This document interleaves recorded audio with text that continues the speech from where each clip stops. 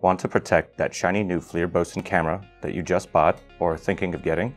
Check out our new prototype FLIR Boson cases, which are available right now on groupgets.com.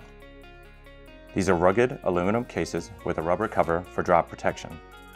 In addition, they include a germanium front window for little to no reduction in thermal video quality.